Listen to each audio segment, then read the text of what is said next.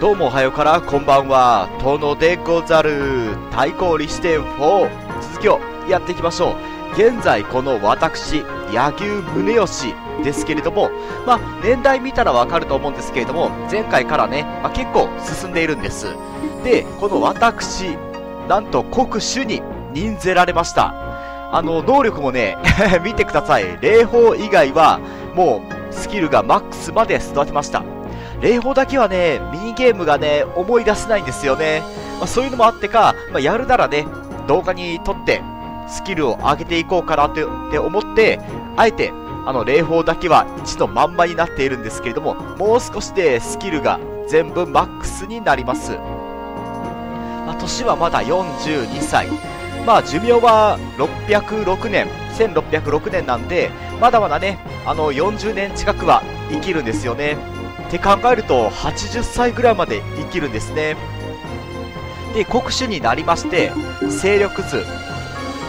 まあ、こうやって見ると、まあ、織田家、まあ、ここまで広がっているんですけれどもなんと伊勢志摩の国を信長様から賜ることができました。ね大河内城からあとはこのあの津で鳥羽城。でこちら長島城を賜りました。でえっ、ー、と、居城は長島に移しました。で、物資もね、他の城からかき集めて、えっ、ー、と、兵士が5万人。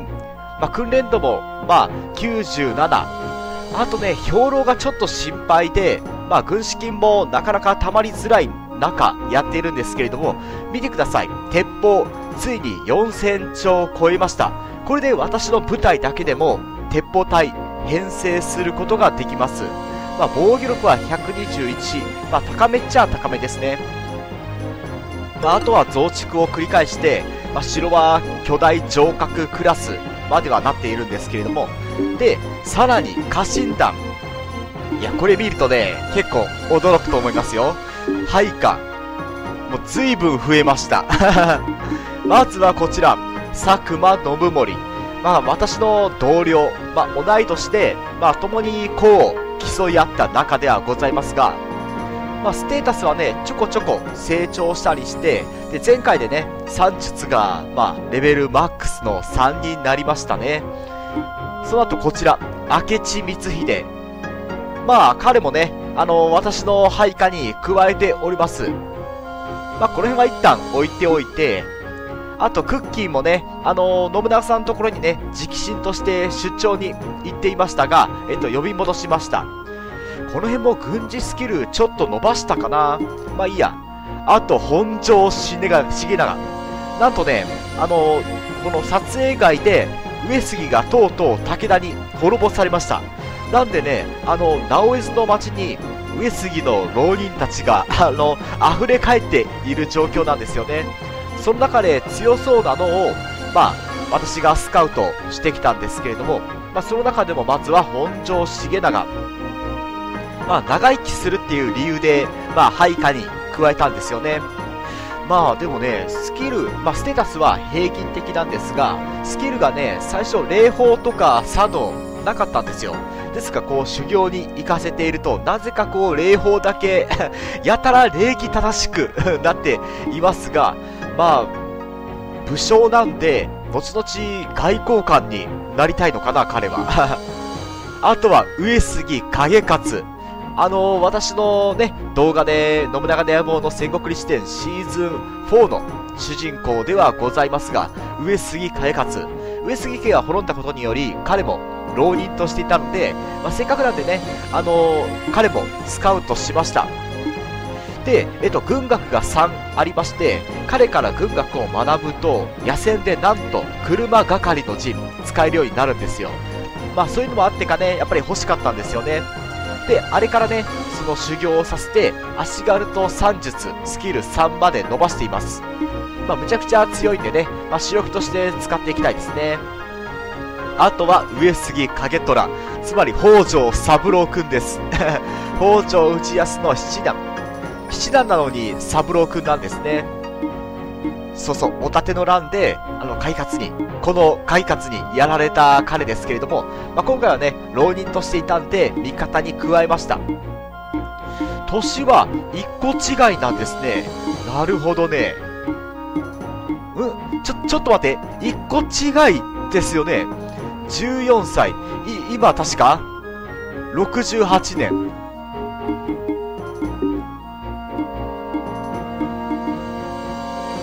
68年。まあまあまあまあ、これはいいとしよう。52年生まれ、15歳。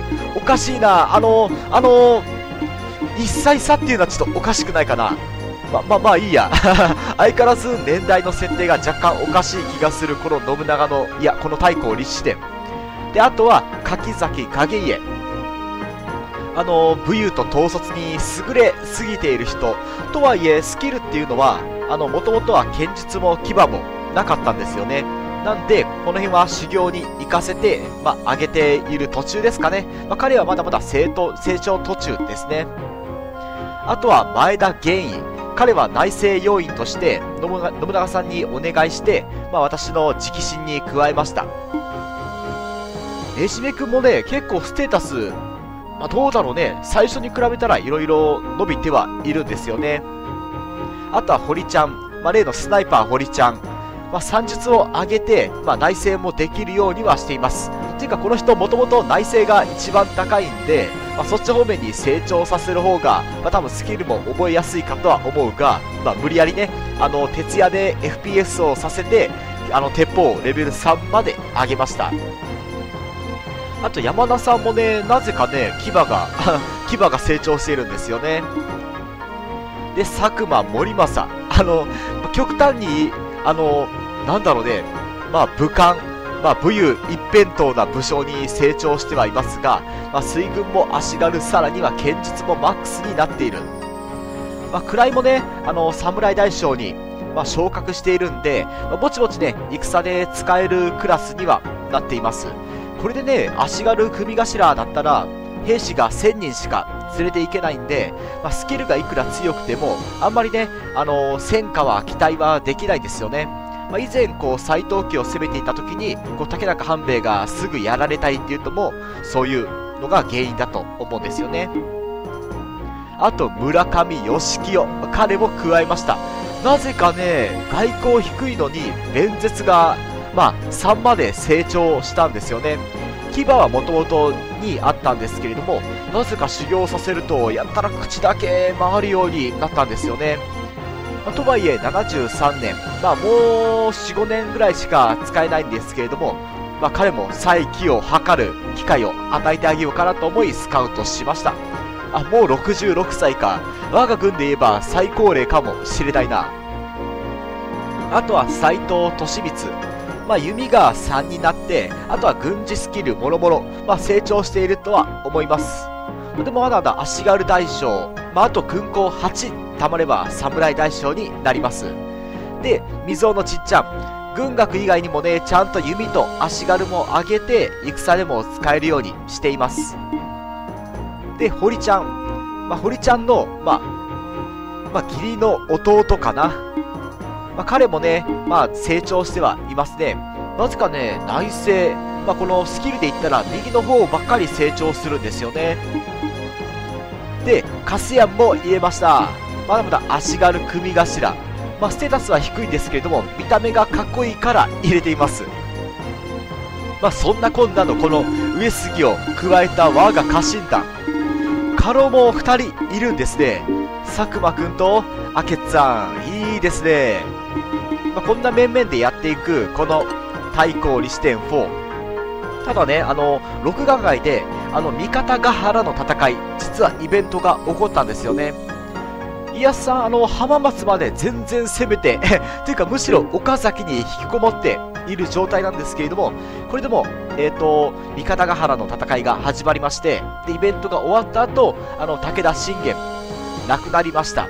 で、じゃあ次誰が大名になったかというと、まあこうしてみるとね、まあ、北条とはおそらくは同盟を組んだまま上杉、そして結城も倒して、なぜか江戸城も おぶさんがいるんだな。まあ、こんな感じで武田家、随分勢力が広がっていますが、じゃあ大名は誰なのか。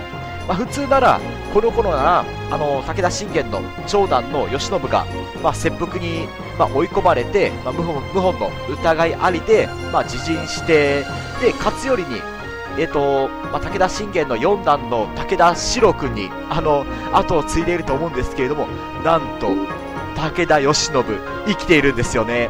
あの、要はそのイベントが起きなかったんで、義信が生きたまま、信玄が亡くなって、で、長男の彼が武田家を継いだ。そして織田家と敵対している。まあ、こういった、まあ、よくわからない状況になっているんですよね。さらには西ですけれども、見るとね、アマコが 随分と広がってきている。毛利どうした？追い込まれているぞ毛利もね、伊予の方に、あの、逃げてはいるか、見るとね、アマゴが随分と成長している。義久さん、頑張るね、合算戸田町で。まあ、そんなね、なんか、この三好家、見てください。まあ、勘のいい人はわかると思います。なんと三好家、松永家に 乗っ取られました。なんとね、あの、三好、えっと、義興かな？あれが亡くなったら、松永久秀が大名になりましたってなりま、で、まあ、忍者の報告がありまして、まあ、ついにね、あの松永久秀さんが三好家を乗っ取った様子。まあ、こういった感じでね、歴史が だいぶ、まあ、だいぶおかしいよね。まあ、そんな感じになっているんですけれども、まあ、私もね、国主になって、やっとね、あの、ヤマト、伊賀の国を攻めろという、まあ、任務をいただいたんですよね。とりあえずね、私は今回、まあ、やることがあるんですよね。おー、クッキー久しいな。で、行き先。結構ね、鉄砲もね、入手するも大変で、まあ、今浜と、あと西下の、まあ、国友さんとかに、あと柴辻さんだったっけな、お願いしてるんですけれども、なかなかたまらなくて、結局ね、軍資金を、まあ、私が、あの、まあ、まあ、1万巻、2万巻ぐらい、まあ、引き出して、で、えっと、今日の商人の方に行って鉄砲を買い込むというのを繰り返していたんですが、まあ、結構ね、それが長くて、こう、まあ、年代が進んでしまったわけなんですけれども、まずはそうだな、まっちゃんに会いに行こう。ね、戦国、私の信長野望戦国史伝の、えっ、と、シーズン3かなシーズン2だったっけな？の主人公ではございますが。いや、織田家の、おそらくは筆頭家老の柳生宗義ですよ。ああ、久秀殿。どうもどうも。もう有効もね、もう随分2個半まで上がっています。強いな やはり、まあ、内政と外交は高い。まあ、内政が高いのも、まあ、多分あの平雲を持っているからだと思うんですけれども、霊峰弁舌茶道がマックス。いや、強いなまあ、まずはね、あの、茶でもどうかね。私もね、最初の頃はこう、あやたかでごまかしていたんですけれども、まあ、今はね、あの、霊峰、霊峰じゃない、茶道が3になって、さらにはね、アイテム、こちら、価値7の松島の壺。あ、天下三茶壺っていうのかなその一つ。なるほどね。今井さんが、えっ、ー、と、上洛した信長に献上したが、本能寺の変で消失した。まあ、価値7なんで、内政がプラス10になります。これを持っているんですよね。いや、これで茶を立てようかね。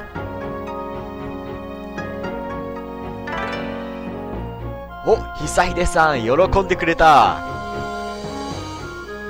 ほう秘伝の入れた茶は誠に見事なものお好き者魅力プラス3いいね茶道のえっとスキルっていうのかな。カードを手に入れました。魅力が3かまあ他のアイテムで魅力はプラス10になっているんでまあそこまで意味はないとは思うがいや光栄ですよ。ですがこたびはまあ別の話があってまあこうして参ったわけですけれども外交。さあ我々織田家松永家に対して宣戦を布告する。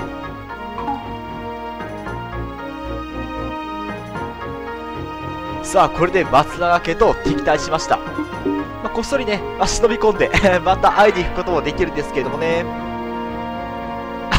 すごいすごい歓迎している。さっき宣戦布告したばっかなんだばっかなんですけれどもね。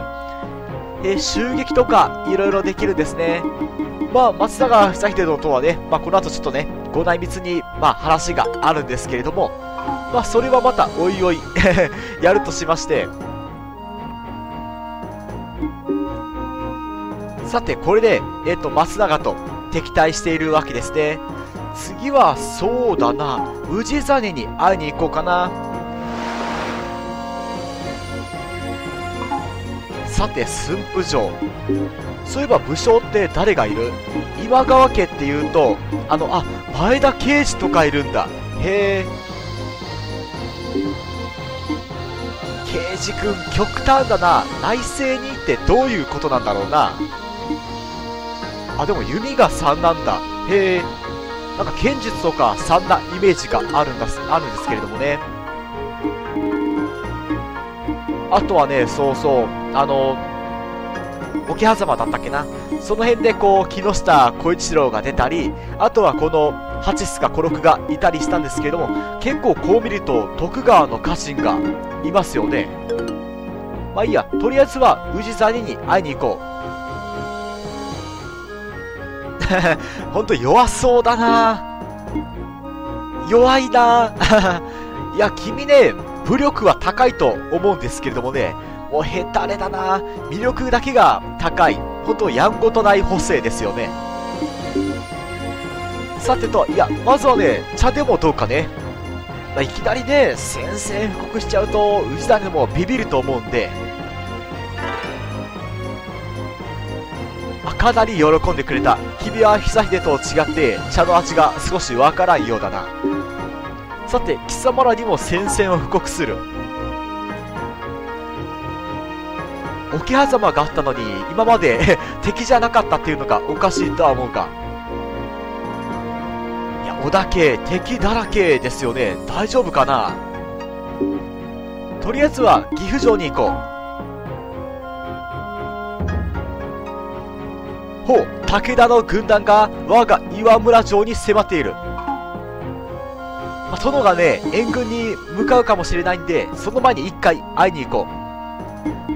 いや、大殿、聞きましたよ。どうやらね、松永と今川が、まあ、当家に対して戦線を布告したらしいですよね。いや、大変ですよね。まあ、この私もね、あの、まあ、まあ、武勇の極みを目指す、目指すものとして、まあ、粉骨最新戦うつもりではいるんですけれども、まずは茶でもどうでしょうかね。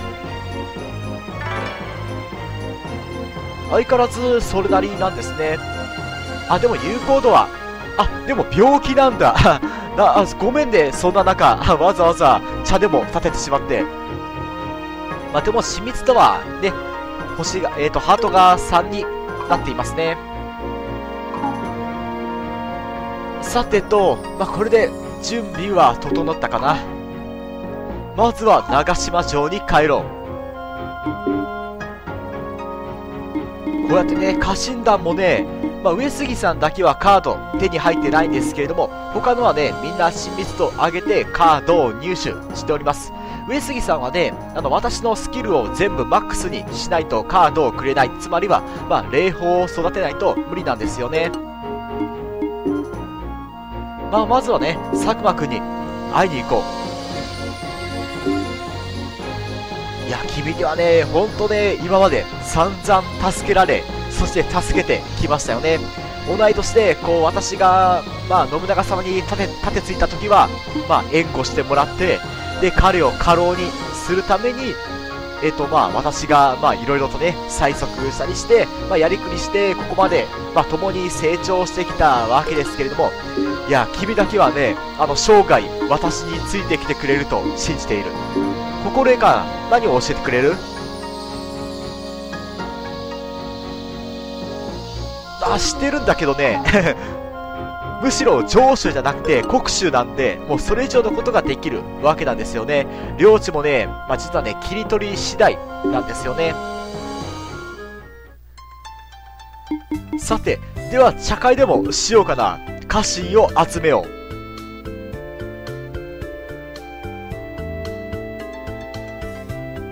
さあ、茶でも振る舞おうかね。お、みんざま、みんな満足してくれたようだ。さて、では表情を開こう。昇格できるものはいるか？いないのか？残念だ。あとは輸送。輸送もうしてやったっけな？してあるな。この辺でねこう毎月収入があるんでこうやって余った余ったっていうか軍資金とか兵士をまあ、城に、まあ、この長島城に集めることができるんで集めて訓練もさせてで鉄砲も買い込んでここまで成長してはいますがそういえば兵糧って大丈夫かな？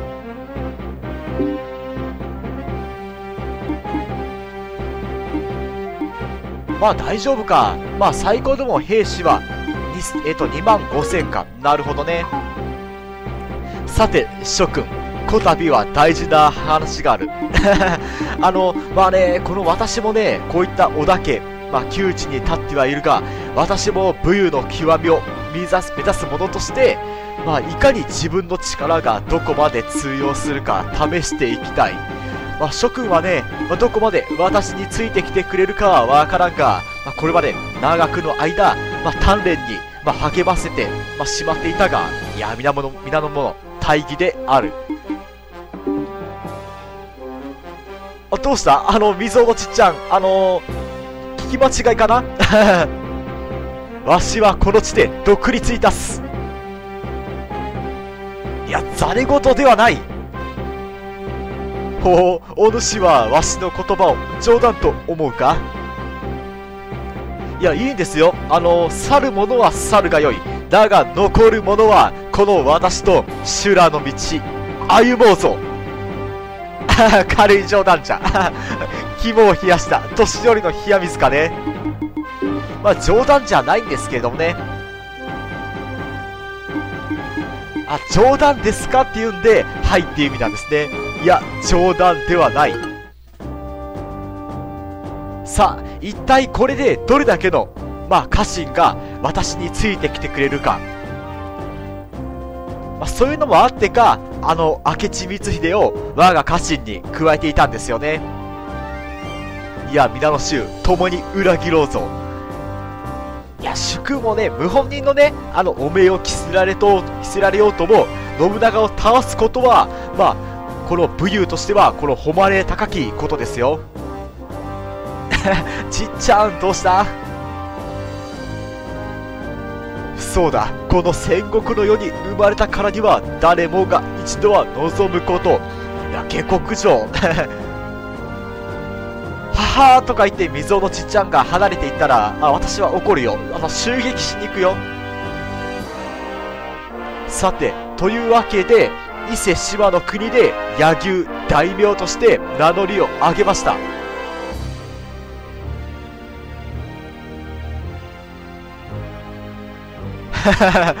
さあ織田家敵に囲まれているこの状況でいかにするかね。さあ抵抗してみよう誠実にな。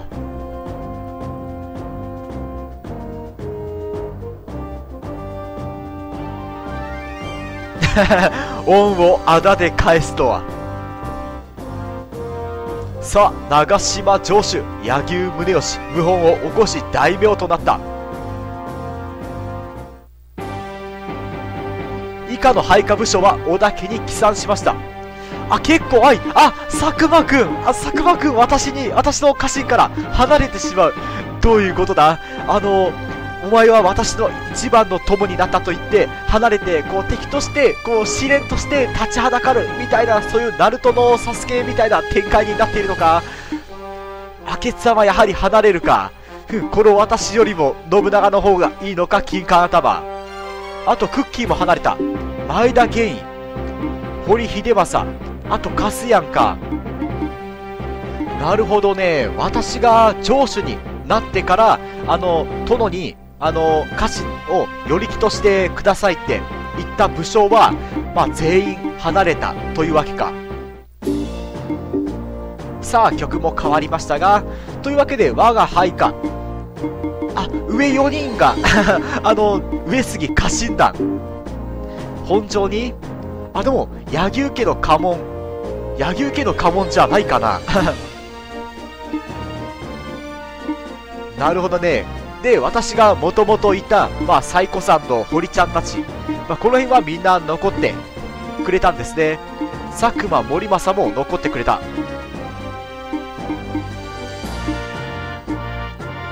なるほど。これだけしかいないんですね。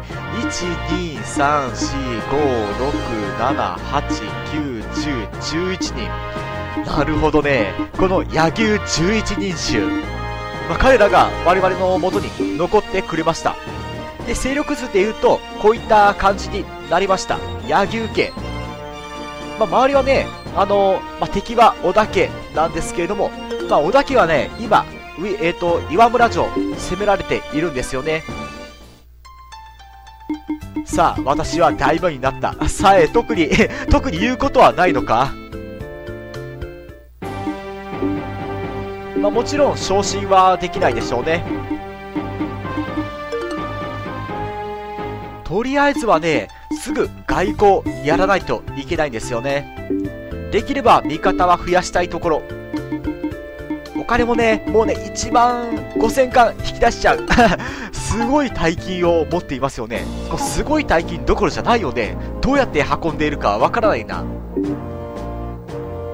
で、まっちゃんに会いに行きましょ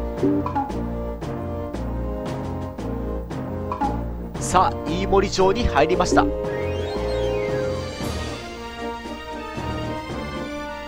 いやこれはこれは、どうもどうも。いやこの私独立いたしましたよ。というわけで外交。まずは親善。さていくら渡そうか、まあ、5000貫ぐらい。ですね。今後とも良き関係でありたいものだ。これでどうなったかな。勢力図とかじゃないよな。外交ってどうやって見たっけな。外交。えっと大名か。浜子が一番大きいんだ。次に伊達武田松永北条織田。なるほどね。松永家外交。織田家とは絶交している。東家とはどうだろう。柳生家あ良好になっているな。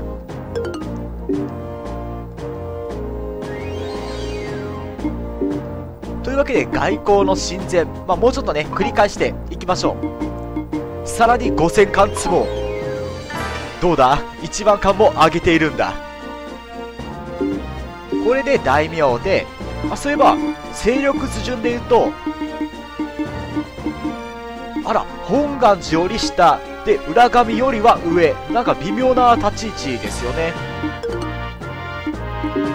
おっとそうだった。友好関係を見たいんだった。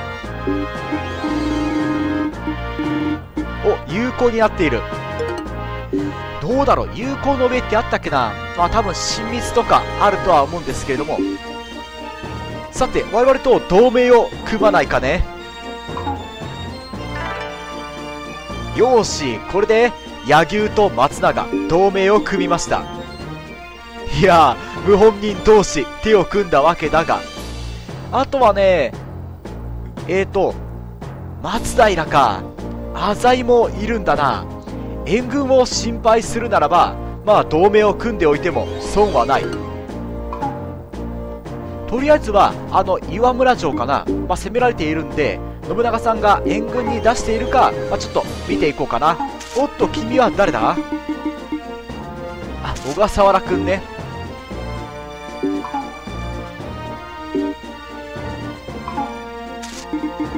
えーと、見ると、慶喜自ら、まあ、攻め入っている様子。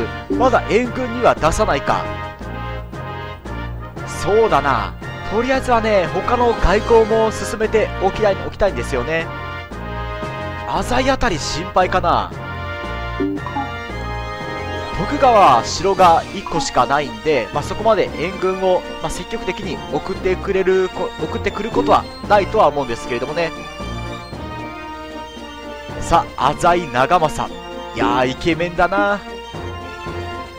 ステータスは強いんですけれどもスキルはあんまりよろしくはない。とりあえずは茶席でもしておこう。お喜んでくれた。いやー茶の味がわかる。いいやつだ。というわけで親善3000巻は出しましょう。できれば織田家と戦う際にこう下手に援軍を、まあ、呼ばれて浅井家とか、まあ、その辺が来てほしくはないんですよね。さらに3000貫積もこれでどうだろう？同盟組めるかな？あ多忙。あそんなそんなことないと思うよ。ついさっきあったんだが。あいたいた。どうした？トイレでも？いや川屋でも？行って行っていたか？で外交の同盟。さあこれで浅井とも同盟を組んだ。まあ徳川はまあ放っておいてもいいだろう。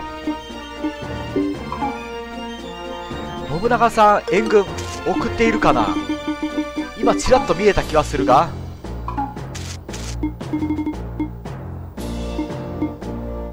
どうだろう？戦っているようには見えないな。だよな。兵力が4万9000いるんで援軍として差し向けているわけではない。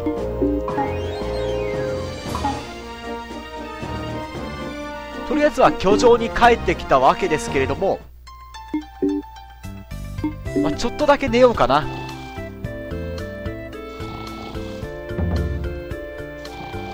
南部滅亡。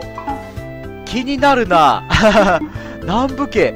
誰がいるかな？信長とか九戸とか。あの辺は武将としていそうな気はするがまあいい。一旦置いておいて。さてではそろそろ合戦していこうか。日野城か。日野城っていうとあれか。六角か。ちょっと一旦勢力図を見よう。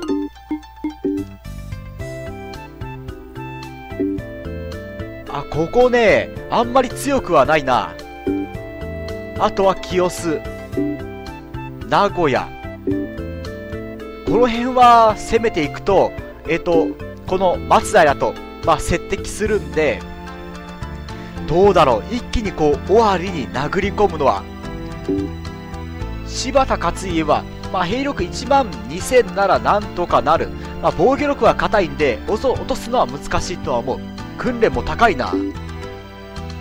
こっちもね、まあ、兵力は5万いるんですが、訓練は79か。まあ、岐阜城は、まあもちろん攻めるのは大変だとは思うんですけれども、ふむ、まあいろいろ悩んだ結果、まあこの鉄砲隊、まあお披露目するために、まあ日野城から落としていこうかな。まあね、敵の援軍っていうのは、まあこういった、まあ誰が、武将がいるところしか援軍は出せないんですよね。だからこういった普通の直轄地、まあこういうのは、あの、援軍は出しては来ないんですよね。なのでまずはね日野城を落としてで織田家の戦力削いでいこうと思いますあのさすがに攻められないかなどうせならこう思いっきりね暴れたいですよね 名古屋城硬えな清須もまあ硬いっちゃ硬いが、まあ、兵士は少ないかつ訓練度も低いならば一気に清須にな、えっ、ー、と清須に殴り込んで、まあ、大激戦を繰り広げていこうかな。まあ、せっかくね、謀反したなら、ド派手にね、暴れたいですよね。武将と足軽大将か。誰を連れて行こうか。まあ、手っ取り早くね、家老が欲しいところではあるんですけれども、まずは影勝。山田さんは連れて行かない。あと森政。象のちっちゃんか敵の増援も心配ではあるからな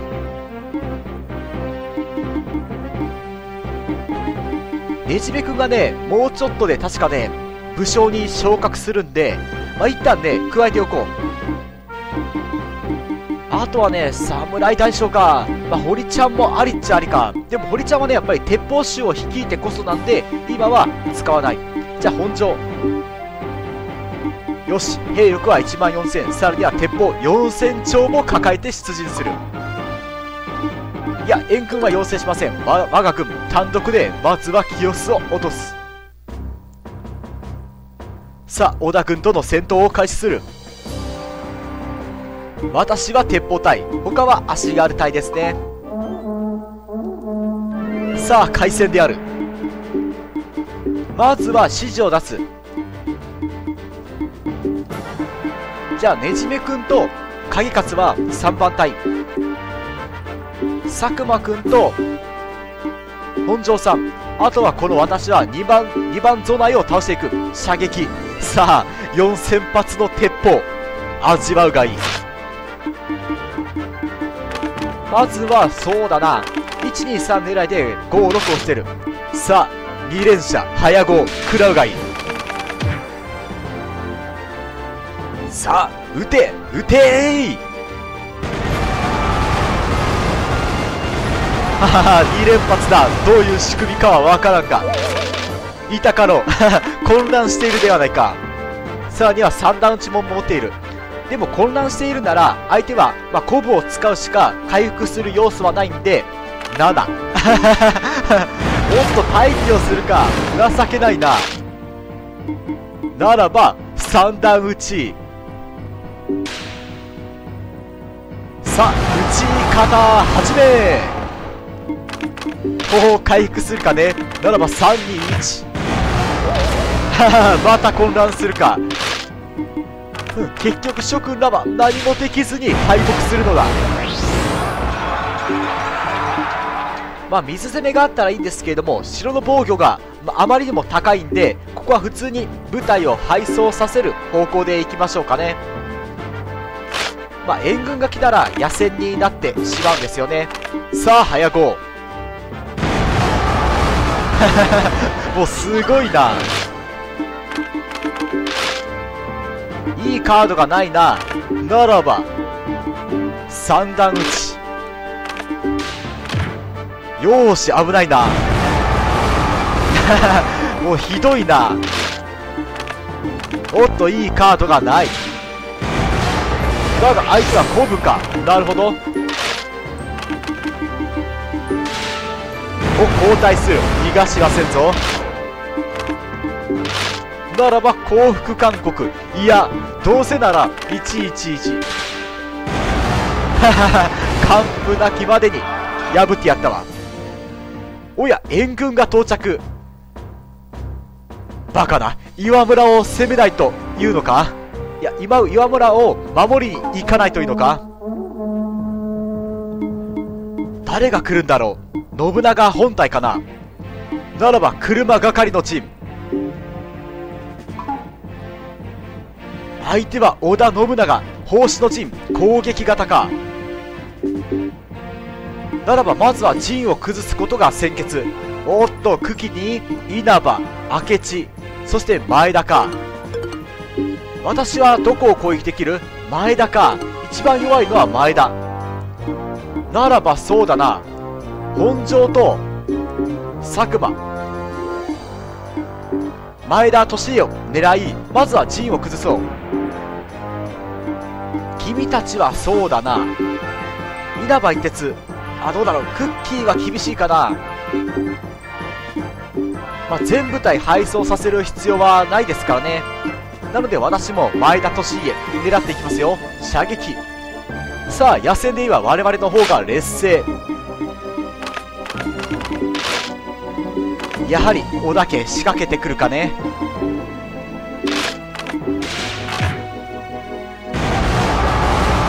いや食らいすぎ食らいすぎ。三段打ちでダメージ1000って でかすぎるでしょ。神速を使うかやるな。すごいダメージだな。これでどうだ？お三段打ちが来た。神速さえ来なければ大丈夫。危ないな強撃か。混乱しておるわ。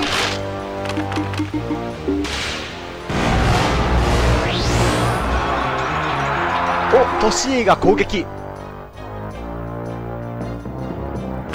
これで陣を崩せば我々が非常に有利になる。10面埋伏使っていこう。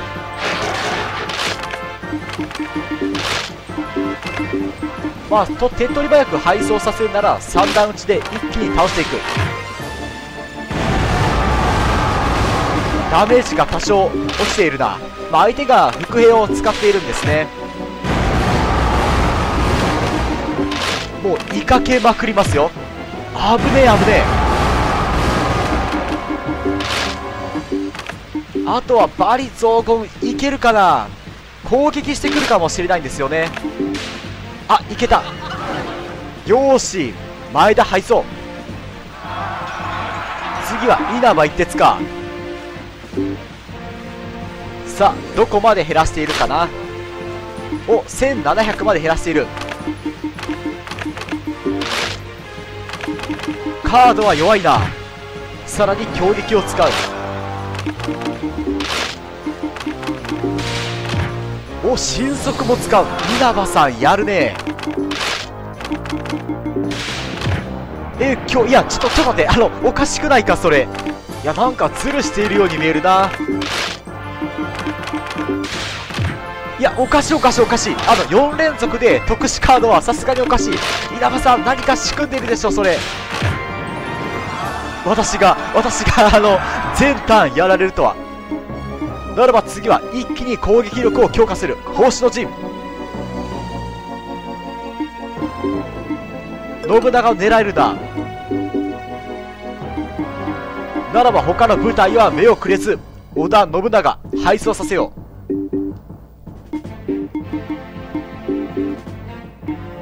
結構本庄君が危ないかな。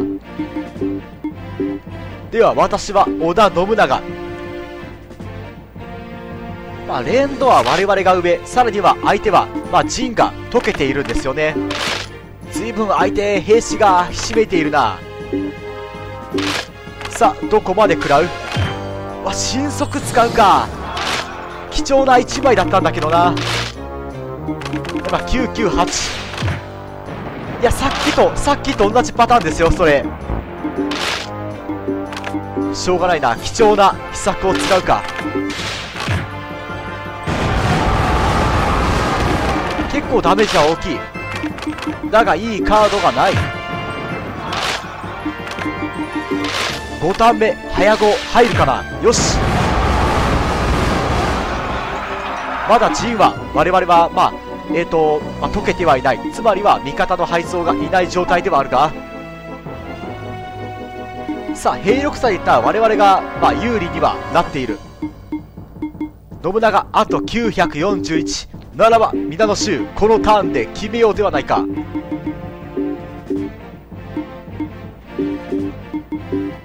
では私も攻撃に加わろう。いや結構食らったな。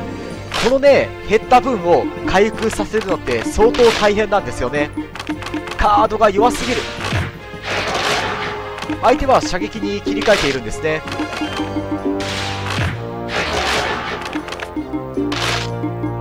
ならば321でどうだ？あの信長が私に向かって文句を言うしかできんか？この感じならこのターンでいけそうな気がする。あと一撃ぐらいかわしていきたい。無理か。おねじめくんが織田信長敗走素晴らしい。どうだ信長？我が軍略思いしたか？待ってもうだいぶねだいぶ痛かったよ。さらにはねこうやって また清須攻め再開しないといけないんですよね。とりあえずは鉄砲隊まあ残っている兵士は均等にき、えーと振り分けている感じですね。さて城攻めがまた再開されたわけですけれどもまあ先ほどの野戦で、まあ、結構ダメージを食らっているんで果たして落とせるかどうかが微妙なんですよね。いや信長さんね岩村攻められて、まあ、先に攻められているんですからそっちに行ってくれればありがたいんですけれどもね。相手はギアを使ってくるところだった。危ないな、まあ、結局は全部隊、まあ、配送させるしかないんでしょうね。まあ、この状態なら水攻めをしても、まあ、なかなか落ちないとは思うんですよね。でもピオランかね。まあ、だいぶ鉄砲も減っちゃったから、まあ、この分を補充しないといけないのはかなりきつい。まあ連度は相手相当低いんでまあすぐ倒せるとは思うんですけれどもね。信長がまた援軍に来ない。か心配なんですよねい。や55は置い。ておこうこのままで321ダメージ低い。な防御力が高い。からか連度は相当低い。んですよね相手こうヒヤを言い。かけてくる確か私あの鶴瓶打ち持ってい。るんですけれども野戦まあ野戦っていうかこういった戦いでは使えないのかな。幸福はせんか。さすがは大岳おっ出た出た。987まだ配送せんか。硬いな。これは厳しいかな。やはり野戦で、まあ、織田家と、まあ、信長と直接戦ったのがきつかったかな。いやだがこの道を歩むと決めたからにはね負けるわけにはいかん。876やるな。秘策はまだ全然残しているんですよね。お三段打ち。お混乱した。佐久間グッジョブ。次はどうしようかな。とりあえずね備えはねほんとすぐ、まあ、減らしていった方が、まあ、攻撃される機会も減っていくんですよね。なのでそれぞれこうばらけさせるさせるよりかはまとめて狙わせた方がいいとは私は思う。清須城ってこうあんまり硬いイメージはないんですけれどもね。おや待機をするか、まあ、とりあえず水攻めで、まあ、相手の士気を下げていこうかな。おや混乱している。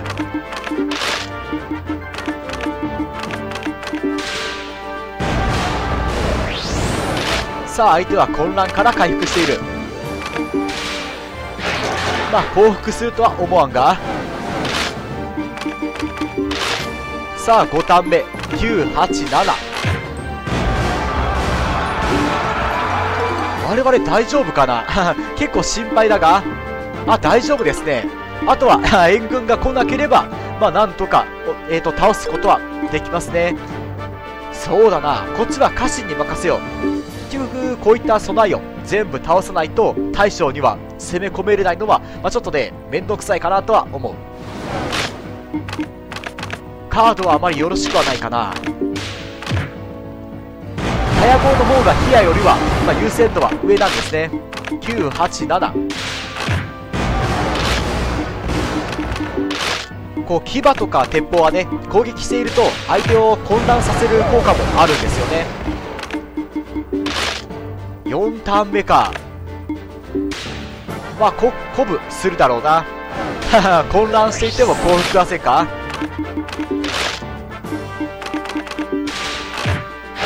やるな。おグッジョブ快活。あとはそれぞれまあこの5番備えと4番備え狙わせて残り大将の首を取りましょう。まあなんだかんだ防御力は30まあ40近くは落としているようには見える。秘策もまだ全然残している。ならばここで3段打ち。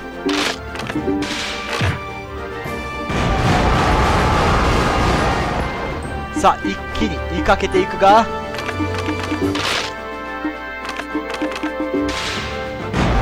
相手は保護するか。ならば222は出ないとは思うが出ないな。いやまだ相手は攻撃してこない。カンパを使うか。ならばこちらはもう一度水攻め。いややめておこう。防御力で落とせるとは思っていない。さらには式で倒せるともあまり考えてはいないんですよね。で落とした後ね耐久いろいろ考えればまあ耐久値は残ったまま、まあ、我が城として欲しいところではあるが。おお3段打ちまで来た。ダメージは低いな。おねじめくんやるね。次はえっ、と4番ゾナイ。厳しい戦いではありますがなんとかね落としていきたい。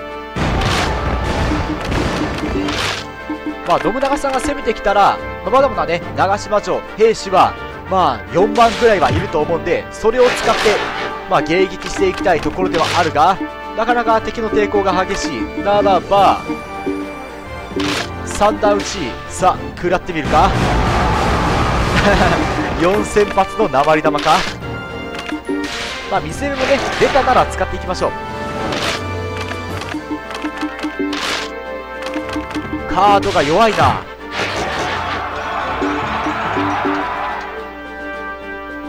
相手はあと500人ちょっと。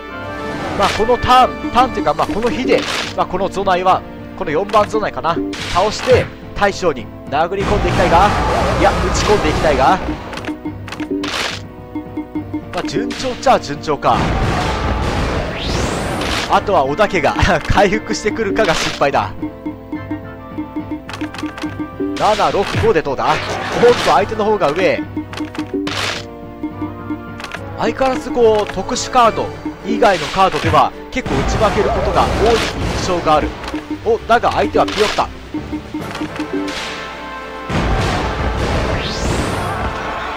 ねじめくんすごいな今回。一番君校ではないのか？さてとあとは総大将貴様だけだ。この備え大将も兵力まだ1000以上残していますからね。まあそれでもこう抵抗しようとするのはまあさすがといったところかな。まあ、できれば式残り48なんでおっとわしに二の足を踏ませるとは、まあ、式で倒していった方がいいかな。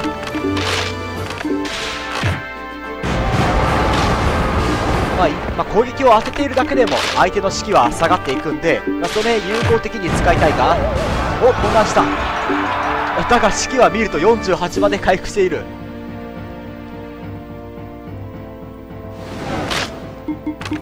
一応バリ黄金とあとはあ幸福勧告も来ている。ならば早碁さらには相手は混乱している。まあコブを使うしかないんだろうな。ならば3 4えーと3934おや待機をする。どういうことだ？まだここで降伏勧告。おやそれでも抵抗しようとする。やるではないか。ならば式を下げよう。寒波を使うか。なるほど。お攻撃してくる。ラッキー。佐久間グッジョブグッジョブ。ふうなんとか清須を落とすことができた。厳しいね。お軍師ですか。まあこれはね合戦にまあ勝っていけばどんどんねまあもらえるんですけれども最後はね軍神まで行くかな。いや皆の衆大義であった。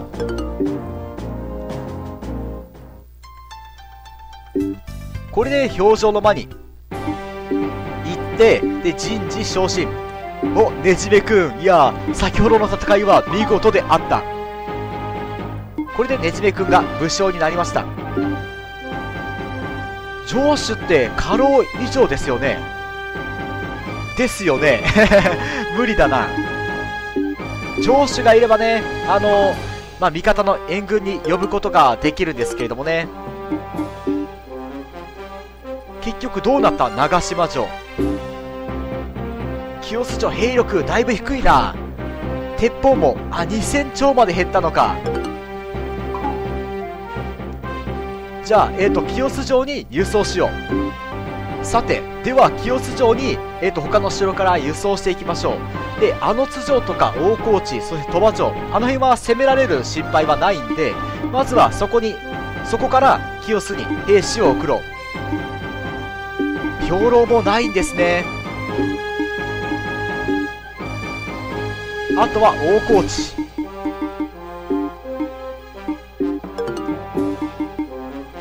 鉄砲と軍馬、まあ、100ちょっとはあるんですね。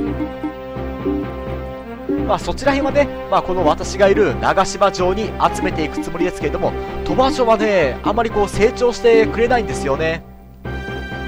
これで多少清洲城は、えーと、兵力が回復したとは思います。で軍資金を集めよう。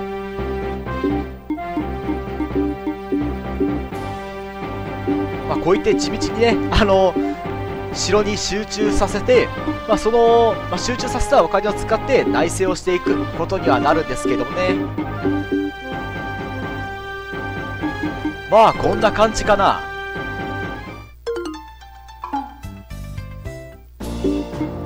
これで勢力図。まあ清須まで我が軍が食い込んでいるわけではありますが日野城もね攻めていきたいんですけれども多分ね浅井と同盟組んでいるんで織田家来るかな。あでも多分来れないな。おや何やら行商人がいる。まあ、次からはね日野城とかをガンガン攻めていくことにはなるとは思いますが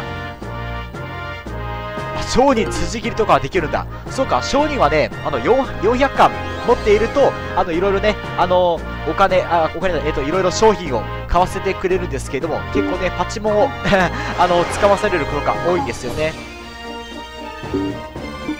じゃあ我が家臣団で言ったらまあ元からいる武将で言ったらねじめくんぐらいしかまあ、武将にはなっていないんですね。他はね、あの、勧誘した武将たちなんですよね。